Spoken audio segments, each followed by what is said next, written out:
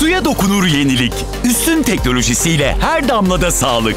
Philips'ten. İşler sonucunda gördük ki işten çıkarılan binlerce işçi haksız bir şekilde mağdur edilmiştir. Bu nedenle ilgili belediyelere ciddi para cezaları kestik ve işçilerin haklarını korumak adına gerekli tüm adımları attık. Çalışanı keyfi olarak işten çıkaran belediyelerin aldığı kararlar cezasız kalmadı. Ekmek ve alın teri siyasetin malzemesi olamaz. Çalışma ve Sosyal Güvenlik Bakanı Vedat Işıkhan bir dizi ziyaretlerde bulunmak için Van'daydı.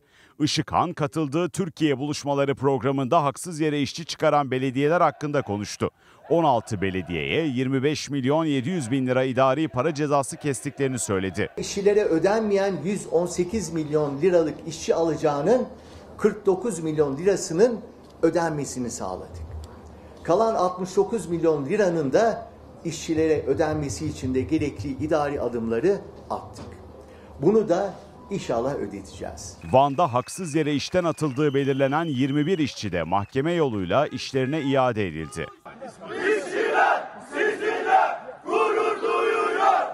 Bakan Işıkhan programın ardından İpek Yolu Belediyesi önünde eylem yapan işçilerle bir araya geldi, destek mesajları verdi. Davanıza destek vermek için, haklı mücadelenize destek vermek için siz kıymetli kardeşlerime uğramak istedik.